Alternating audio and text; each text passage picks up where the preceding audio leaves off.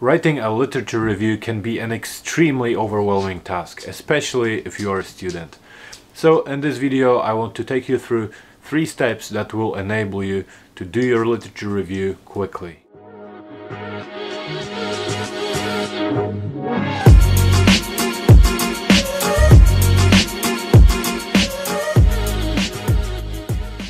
So the three steps that I want to discuss include uh, first doing lots of reading, then organizing that material, and then sitting down to write your literature review. So step one, unfortunately there is nothing you can do about it and there is no way around it. You have to do plenty of reading. So obviously as you know the requirement is that you have to, in your literature review, you have to demonstrate a very uh, good knowledge of the literature. That's the whole point of your literature review.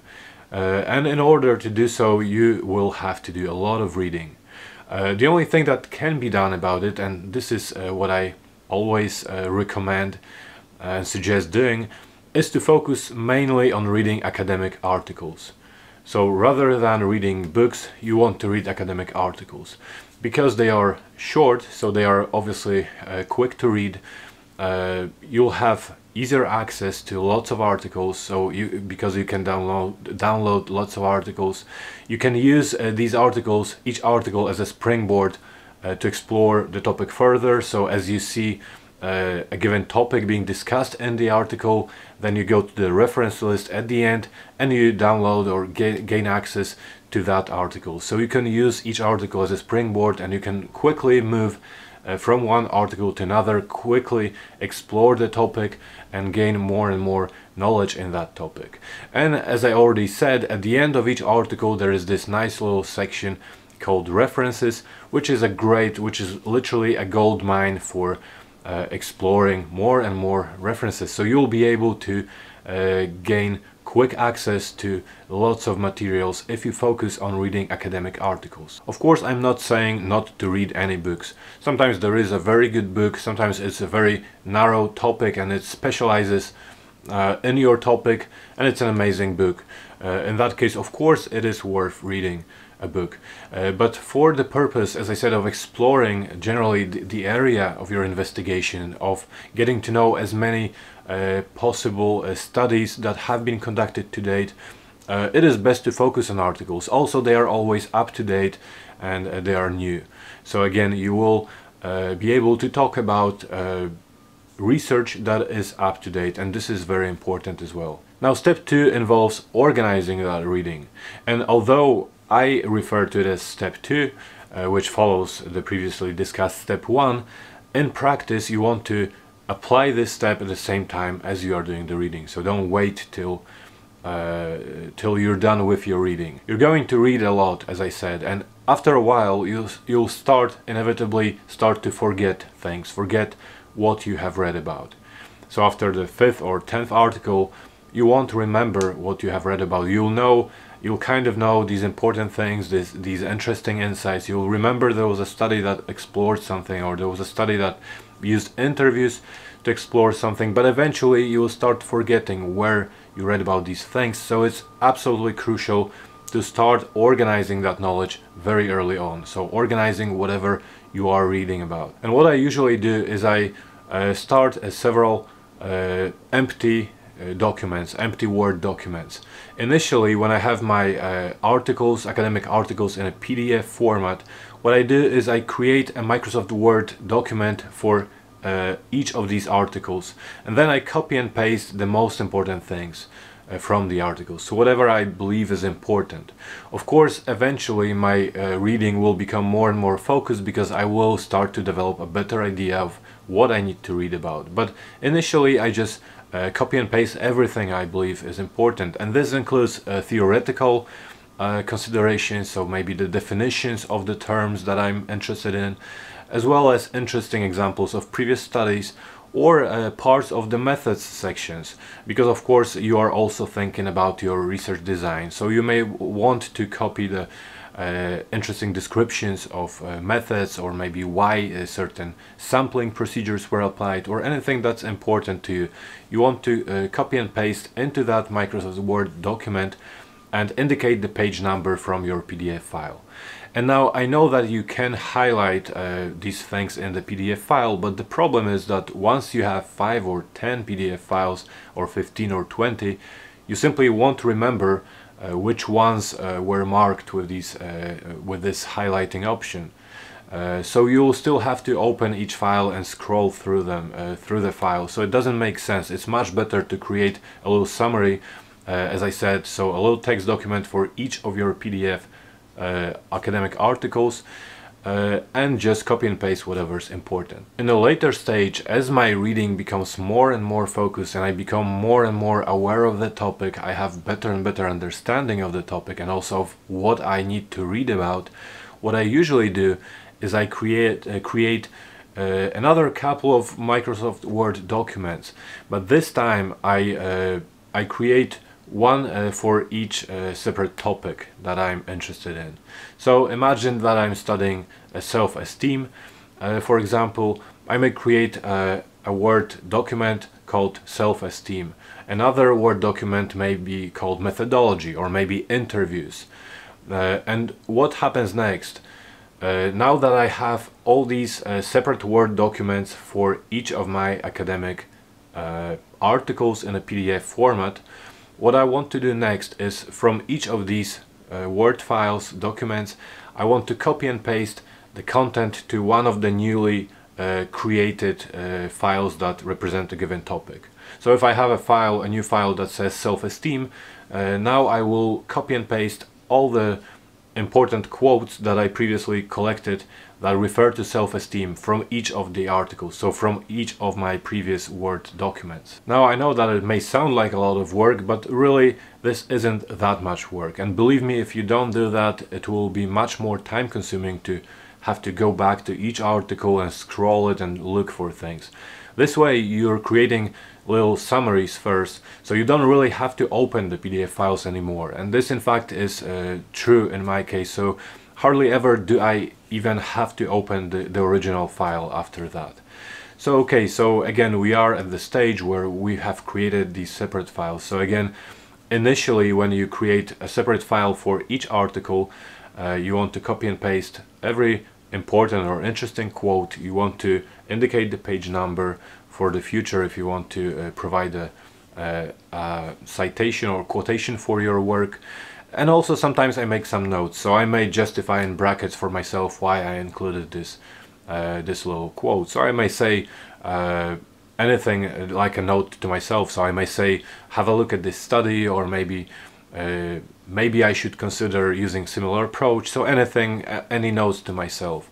Or sometimes just I just separate the topics. So like I said in the brackets I will say uh, self-esteem or definitions of self-esteem.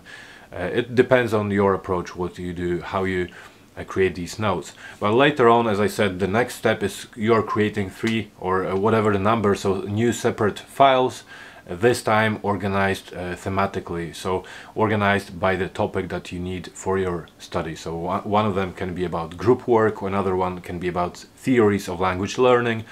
And now you're copying and pasting everything from uh, each of your uh, previously created uh, text files. This time you have to indicate the page number and the source so where which article the quote comes from. So as a result what you have now uh, are a few separate documents that have uh, every quote that uh, you believe is important on a given topic.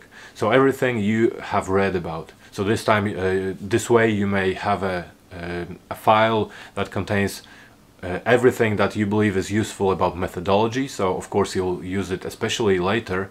And this forward thinking, future thinking will help you as well.